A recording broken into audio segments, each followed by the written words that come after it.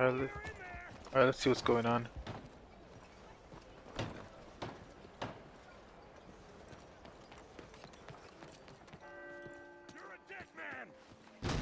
Whoa.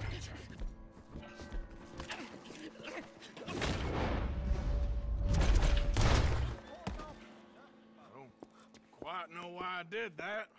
This barbarity is boring, no? It Barbarity. some years. You must go, my friend, before the gendarmerie arrive. Hey, you gonna do right by this feller's wife? You have done right by her. The little bird is free. Uh oh. I am an artist, cowboy. I must do what I feel. Look, I have an exhibit at the gallery. You come, see what I mean.